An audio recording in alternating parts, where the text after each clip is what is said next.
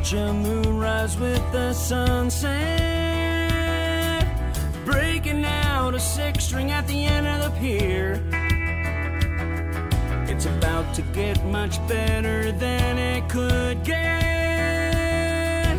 Everybody's a winner that's hanging here. You don't have to wait till the turn of the clock. If you're looking for a good time, step